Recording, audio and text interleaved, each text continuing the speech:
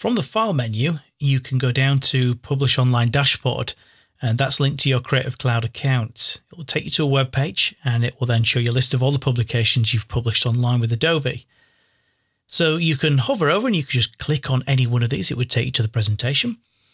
You can also, by hovering over this region, you can share or you can embed, or you could even delete if you wish to. Uh, there is an option here which is about stats. Now, it's a really great source of data, but it takes an eternity to load up, and it certainly has done in the last sort of 18 months to two years.